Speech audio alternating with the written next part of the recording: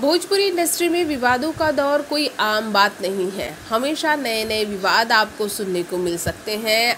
आपको यहाँ गाने और फ़िल्में भले ही बेहतरीन ढंग से सुनने को, देखने को ना मिले, लेकिन विवाद आपके को इंटरटेन किए हुए हैं और यही विवाद है जो आज भोजपुरी इंडस्ट्री को ज़िंदा रखे हुए हैं। खैर, आज हम बात लेकर आए हैं अनुपमा यादव और गोलू राजा चीर अंदाज में। अपने आप को भोजपुरी का बेताज बादशाह कहते हैं। वैसे, अमूमन पी लेने के बाद हर भोजपुरिया स्टार यही कहता है जो गोलू राजा कह रहे हैं। जी हाँ वो अपने से नीचे सभी को मानते हैं। वैसे ये पहला मौका नहीं है। जब भोजपुरी इंडस्ट्री में कोई भी स्टार अपने आप को स्टेज पर इतना गंदे तरीके से रिप्रेजेंट करता हो। इससे पहले भोजपुरी का इतिहास काफ़ी पुराना रहा है। जब हीरो शराब के नशे में स्टेज शो करते हैं और वहाँ काफ़ी लोगों से बदतमीज़ी कर जाते हैं, लेकिन गोलू राजा शराब पिए रहे या ना पिए रहे, उनका ये चीर परिचित अंदाज है। आपको ये बता दें कि इससे पहले कई स्टेज शो में जब वो अनुपमा यादव नहीं कहा करते थे, तब अनुपमा यादव उन सारी चीज़ों को हंस कर लिया करती थी जब गोलू राजा किसी और स्त्री, किसी और फीमेल आर्टिस्ट को टोन किया करते थे। अनुपमा उस वक्त बोलती कि इस तरह से गोलू राजा किसी और को क्यों बोल सकते हैं? एक औरत होकर औरत की बेइज्जती क्यों सहती थी वो?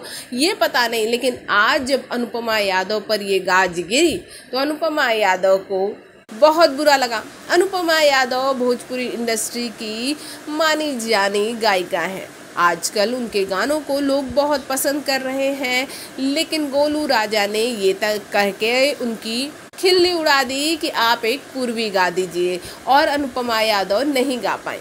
यहीं से सारा विवाद शुरू हुआ और विवाद इतना बढ़ गया कि अनुपमा यादव दूसरे दिन लाइव आती हैं और बहुत कुछ गोलू राजा के बारे में कहती हैं। और अब अनुपमा यादव को फैंस का सपोर्ट मिल रहा है। सपोर्ट मिल रहा है, अच्छी बात है। लेकिन अनुपमा यादव को ये सोचना चाहिए था कि जब शुरुआत, यानी कि जब उन्होंने गोलू राजा के साथ अपने स्टेज शो की शुरुआत की थी। ये गोलू राजा के साथ उनका पहला स्टेज शो नहीं था। गोलू राजा ने तब स्टेज से खड़े होकर कई कलाकारों की धज्जियाँ उड़ाई थी और वहाँ पर खड़ी होकर अनुपमा यादव बकायदा हंसा करती थी। फिर वो चाहे राकेश मिश्रा हो, खेसारी लाल यादव हो हाँ पवन सिंह को छोड़कर कभी भी गोलू राजा ने भोजपुरी इंडस्ट्री में किसी का सम्मान नहीं किया और अनुपमा ने तब स्ट्रिक्ट एक्शन नहीं लिया।